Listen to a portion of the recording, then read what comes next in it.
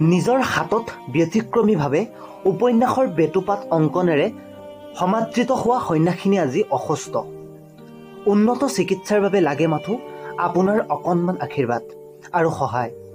বিনন্দীয়া পৃথিৱীৰ সৌন্দৰ্য পিপাসুসকলৰ মাজৰে এগৰাকী যুৱতী এইগৰাকী। ৰং তুলিকাৰে সময় পাৰ কৰা সন্যাসিনী ইতিমধ্যে বহুজনৰে পৰিচিত। নতুন ধাৰাৰ চিত্ৰশিল্প আৰম্ভ কৰি জনপ্ৰিয় হৈ পৰা সন্যাসিনী আজি অসুস্থ। সন্যাসিনীৰ দেশত ধৰা পৰিছে দুয়োটা বৃক্কৰ আৱৰণত সংক্ৰমণ। প্ৰকৃতাৰ্থত ব্যতিক্ৰমী চিন্তাধাৰা তথা অসাধাৰণ প্ৰতিভাৰে নিজৰ হাততে বহু উপন্যাসৰ বেটুপাত অংকন কৰা লিম্পী পাঠক নামৰ ছোৱালীজনী আজি দুৰাৰোগ্য ৰোগত আক্ৰান্ত।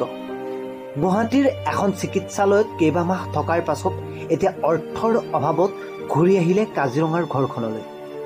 উন্নত চিকিৎসাৰ বাবে বহিৰাজ্যলৈ লৈ যাবলৈ মাক দেউতাক আৰ্থিকভাৱে অসমৰ্থ।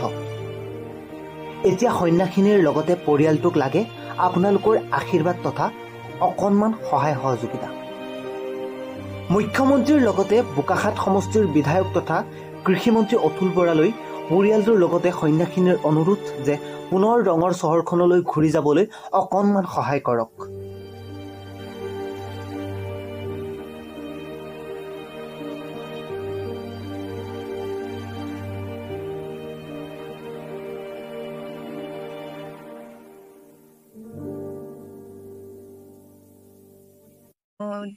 কি বুলি ক'ম এতিয়া বিপদমুক্ত নহয়। তথাপিও প্ৰথম অৱস্থাতকৈ অকণমান সুস্থ বুলি ক'ব পাৰি আৰু। তথাপিও বিভিন্ন অসুবিধা হৈ আছে জি এম চি এইচৰ পৰা অহাৰ পাছতো। তথাপিও আছোঁ আৰু দুমাহৰ পাছত মাতিছে চেকআপত তাৰপাছত গম পোৱা যাব যে মেডিচিনখিনিয়ে কিমান কাম কৰিছে কিমান কাম নাই কৰা। দুমাহৰ পিছত প্ৰথমে আমি এতিয়ালৈকে দুবাৰ চেকআপত গ'লোঁ। আচলতে তাত থাকোঁতেই তাতে আৰু জানেই গুৱাহাটীত কিমান ব্যয়বহুল হয় আমাৰ নিচিনা মানুহৰ বাবে। সেইবাবে হয়তো আৰু বেছি দিন থাকিব নোৱাৰিলোঁ। সেইবাবে তেওঁলোকে দুমাহৰ পাছত মাতিছে। তথাপিও অৰ্থৰ জানেই আৰু আমাৰ আৰ্থিক অৱস্থা কেনেকুৱা আহ, কিমাননো সাঁচতীয়া থাকে তথাপিও চিকিৎসাতে বহুখিনি গৈছে।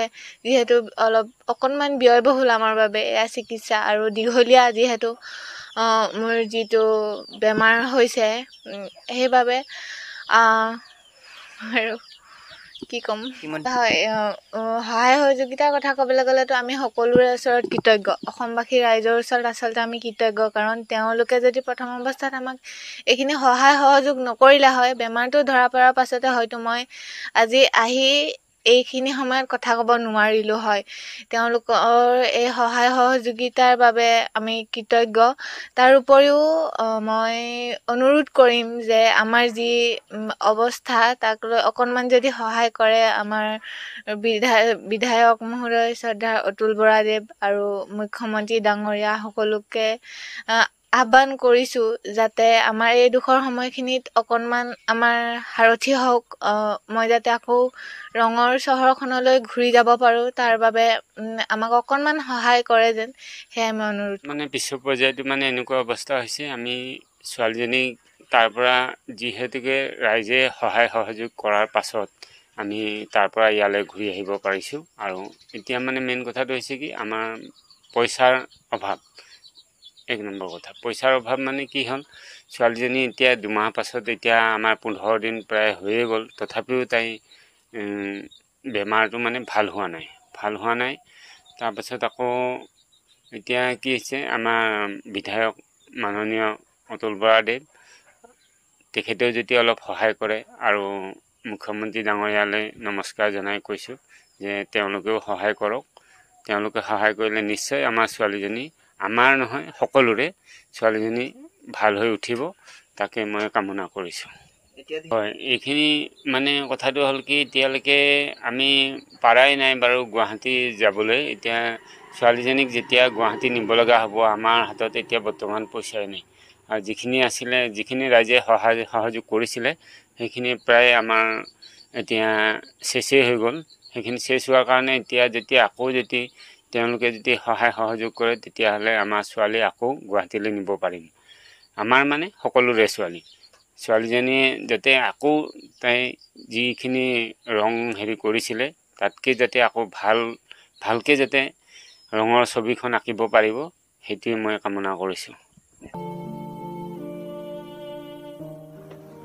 Piyush Das local eighteen Kaziranga.